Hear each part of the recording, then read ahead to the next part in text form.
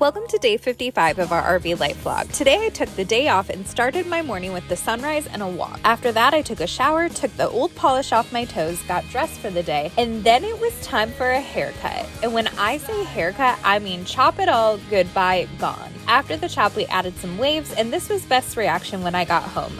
I didn't tell her I was chopping it off, so that was a fun surprise. Then we drove into town for our date night. We found this cute little restaurant that had such a fun vibe, and we cheers to our new partnership in the works, and then reminisced on pictures of little Courtney and how adorable she was. We had such a nice time at dinner, and when we got home, we turned on some music, and I gave Beth the concert of a lifetime. And then after that, we laid in bed singing 90 songs at the top of our lungs while reading the lyrics from Spotify.